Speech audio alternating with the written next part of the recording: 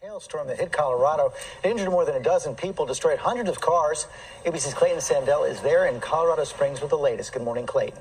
Hey, George, we are here in the parking lot of the Cheyenne Mountain Zoo, and look at these cars. This wind, windshield, this back windshield, completely smashed out. And look at the dents here. This will give you an idea of what softball sized hail can do. There is shattered glass and pieces of cars all over the ground. These are just a few of the hundreds of cars here that, after this freak hailstorm, were undrivable. People trapped in cars by icy projectiles said the hailstorm sounded like gunfire. The Cheyenne Mountain Zoo in Colorado Springs pummeled 14 people in.